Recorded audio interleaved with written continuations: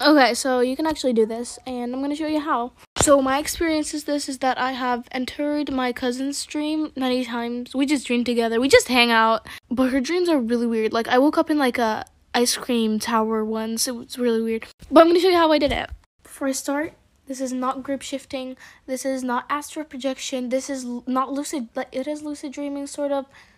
But please keep in mind that this doesn't have to do with spirituality. It's literally just entering someone's dream. So step number one is you want to set the intention. So you're gonna be like, before you go to sleep, like half an hour before you go to sleep, you're gonna be like, today I will enter dot dot dot's dream, and like set your intention like in your mind like really clearly. So like, I'm gonna go and enter their dream. We're gonna have fun. We're gonna hang out. Step number two is when you go to sleep, you want to think about the person, like have a clear picture of them in your mind. Like like, this is the person. They're gonna go to sleep. I'm gonna go to sleep and I'm gonna enter their dream. Like just keep their picture in your mind. And then like step three is right before you drift to sleep, you're just gonna keep repeating in your mind like, tonight I'm gonna enter that person's dream. I'm gonna enter that person's dream. I have entered that person's dream. Like pretend like you're already there.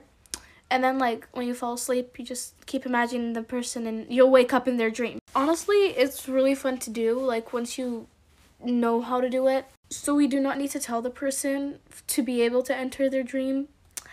I don't recommend entering your ex's dream. I know you're thinking of that. Though I do recommend telling them because when they go to sleep, they will think about you as well.